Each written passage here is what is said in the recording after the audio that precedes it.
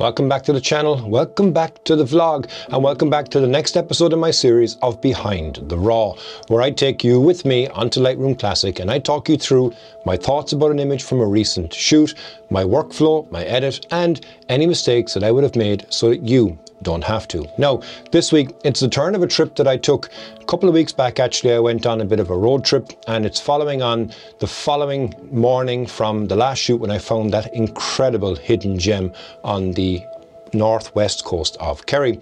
And it's an interesting one because there are some funny stories that go with this episode. And if you haven't seen it, actually, I'll link to it up here. But yeah, it was quite interesting to say the least. But the image that I'm going to take you through today was one that I really liked when I started to look at the edit.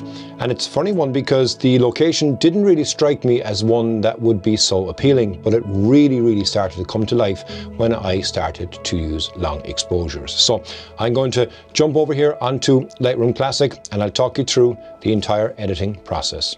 Let's go.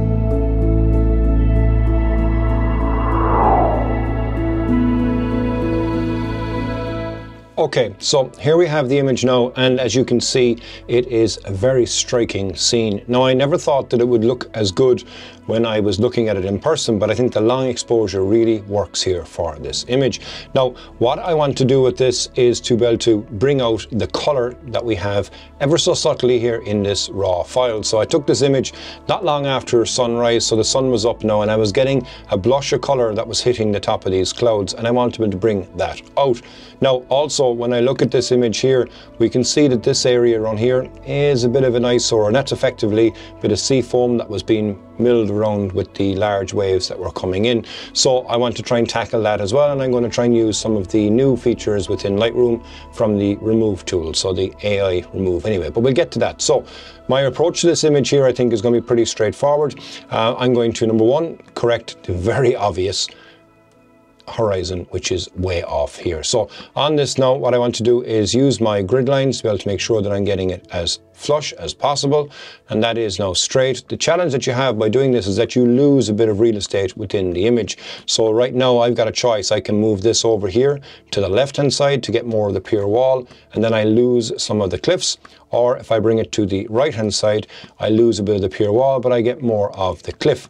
Now for me when I look at this I kind of want to have some bit of symmetry in it anyway overall and I think moving it to the left hand side here does seem to work best of the options. So that's the first thing that I'll do from that. The second thing that I'm going to do from that is I'm going to crop this. So I'm going to go for a 16.9 crop.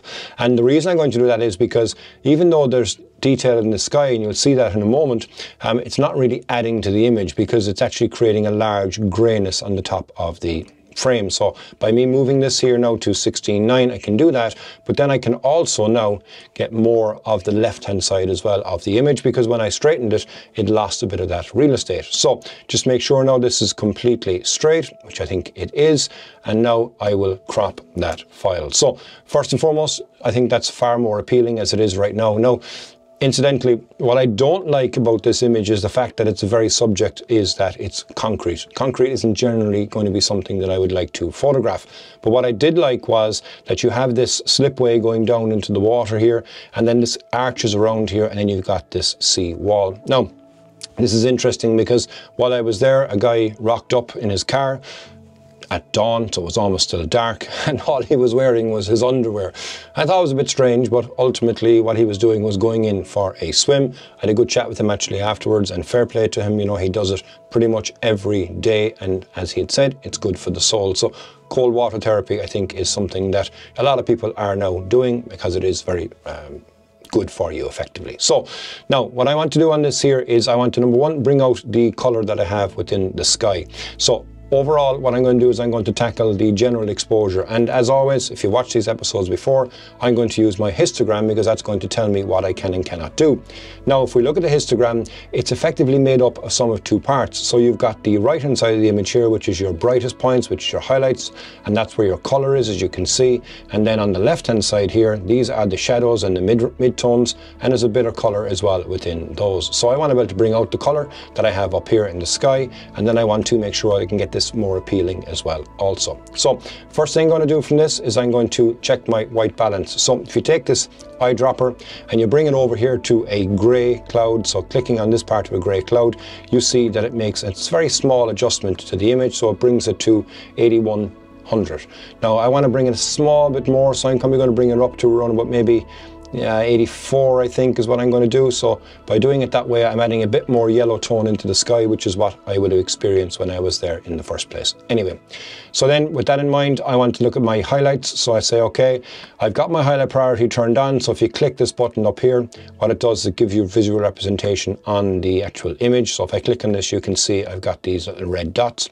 That tells me that that area here is close to being overexposed, but it's not hitting on this on the right hand side.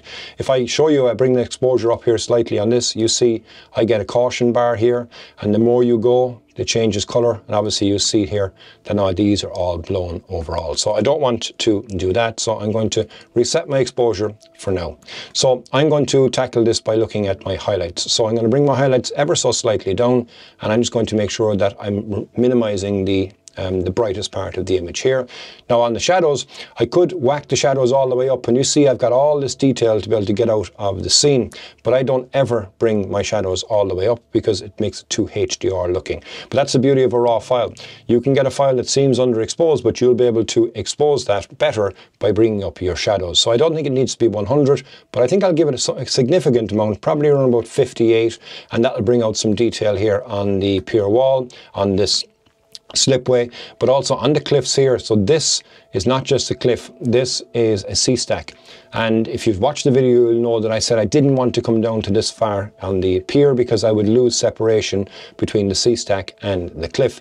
But what attracted me, like I said a moment ago to this, was just the shape of what the pier was doing. And then obviously with the long exposure, I think that worked as well as also. So that's the first thing that I'll do anyway here. Now looking at my whites, I want to say, okay, can I bring up my whites ever so much? And I'm looking at the water here more so than the sky. So I could bring up my whites a bit more, make the front of that brighter, and then I can also just bring back down my highlights in the sky as well there. Now these are showing me that they're blown, so I'm going to deal with that separately in a moment. And then on my blacks, if I bring my blacks up, you see what's happening in the histogram is it's bringing these up here. So I can say, okay, I'm gonna go probably a bit down on those because I've got a bit of room on the left-hand side. If I go all the way down, you see that this is now telling me that these areas are blacker than black. So if I click on that, these are blacker than black, so they're underexposed. So I can say, okay, I'm gonna bring those up just to the limit until they disappear. And now when I look at that, I'm dropping my blacks by 0.27. Now, something I never really do, and I'm going to use it here, is use the slider for texture. So texture is going to be added here to this image, and I want to do it because this was all concrete. To give you a look at the extreme that you can do with this, if I take my texture and whack it to 100%, look at the detail and what it changes here on all of this pier wall. Now, I don't want to ever go to 100%, but again, I am going to give that an increase, probably go up here around 48. Clarity I don't need, but dehaze I think is going to help me on this image. So if I give this a dehaze, you'll see that it darkens down the overall aspect of the image, but it also gives me a better control of the highlights that I have at the top up here. Now, tackling something that I don't like, which is this bit of the foam on the wave that was being moved around the whole time on the um, by the sea. So I can go in here now to this and I can go in and say, okay, I want to click on this and use generative AI and I want to go object aware.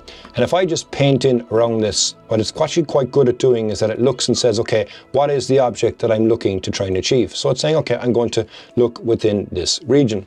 And all I have to do is click on subtract and then press apply. So this now generates what it thinks is going to be the best mix. And moreover, it gives you three options to be able to choose from. So you're not stuck with one. And even straight away, I think that has done it on its first option. But we'll have a look anyway here by clicking this button. You get to see the variations. So I'll go to variation two and see what that looks like. Okay, that's also very good too. And if I go to variation three, We'll see what that does. I think variation three does the best job because if I go back to two and I give you a look here, you see you get you're creating a bump overall, which didn't exist. And if I go back to variation one, that creates more of a jagged edge on this, which didn't exist. So I think three is probably the one for me. So if I press on that and then press enter, now what that does is it removes that and you wouldn't even know that it was there in the first instance. So that's the main part of the image done, but I want to tackle the sky and I want to be able to bring out some of the color in that sky. So I'm going to use a mask for this. So I'm going to go in I'm going to select my sky. And if I select my sky, it is only going to affect that part of the image. So I can now go say, okay, if I bring my exposure down here, you can see now that I'm getting all that detail in the sky, but also I'm now creating more of a variance between highlights and shadows. So if I take my exposure down probably 0.65 and now I can look at my highlights so that's going to affect this area that I said to you was overexposed. And then if I take my shadows if I bring my shadows down here it can make it very dark but if I bring my shadows up it can create a bit of an airier look within the image. But mainly what I'm looking for here is I want to increase increase the saturation on this particularly within the sky. So I'm going to increase the saturation here first and foremost. You can see all this changing but now I'm also going to follow the same thing that I would have done on the main image is to change the temperature and bring it a bit bit more towards the yellow side. And what I do like now about that is that this color here is more or less matching. You see the coloring that we're getting bounced off here onto the uh, slipway. And I really like this part of the image actually because you've got a lot of detail that's here but you can just about make out the slipway continuing into the water so I think overall then I'm pretty much done with that image now there was an error that I would have made here and again if you watch the video on this you know it was a blustery day. So I can see that there are some spots up here from water. I don't even know if I'm going to be able to try and uh, get rid of them effectively, but I'll go in and try. So we're going to go in again here now to generative AI and I can just make them out here. So I'm going to just select this area here. It probably won't affect and select an object, but I'm going to say, okay, I want to subtract that and let's see how it gets on with that. It may or may not do it. I'm not quite sure, but we'll see what it's going to give us because it's going to give us three options anyway it has done it, which is great. Okay. I'm now going to take the next one, which is in here, and I'm going to say, okay, I want to do the same on that. So I'm going to go into subtract and apply. And while that's doing that, I had no uh, sensor spots. So if you watch my previous episodes, you know that I always had a sensor spot up here, but I got absolutely peppered um, with sea when I was in Dingle a couple of weeks ago. So I ended up going and getting uh, my own cleaning kit because I wasn't going to get to Dermot to get it cleaned. And I've now cleaned my sensor. So thankfully that has been resolved. And I think that has actually done that. If I press enter and see what this looks like, that actually has done a very good job overall. A small bit of remnants on it, but only because I know that it's there and I'm casting my attention to that. Final thing that I'm going to do for this sky is I'm going to have a look and say, okay, do I want to just increase my dehaze a bit more, to create a bit more mood and drama on that image? And now if you look at what's happened on the histogram, I've taken all the area that was all on the right hand side and I brought it more into the center, so it's a far more balanced image, but I do have a bit of room here that I can change my exposure overall on the image, so I'm just going to bring that up ever so slightly being conscious obviously here of the uh, sky, so apologies, I'm back in the um, sky mask. So I'm going to go back in here to my exposure and I'm going to change that here slightly and just lift the whole image and just being conscious that I'm not blowing there. And then I'm going to go back in here and click on my vibrance.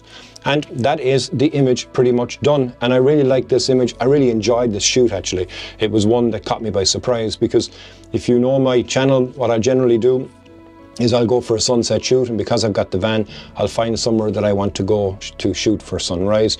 So I arrived here completely in the dark not only because I had never been there before, I was only looking at a Google map, but also it was dark. So uh, when I woke up the following morning, it was a nice surprise to be able to see exactly what I had in front of me. So thank you very much, as always, for watching. I hope you enjoyed this episode of Behind the Raw.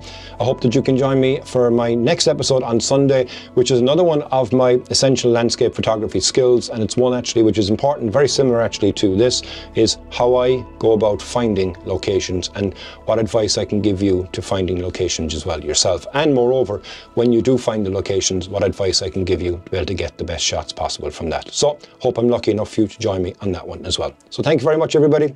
Till the next time, Slán go fóill.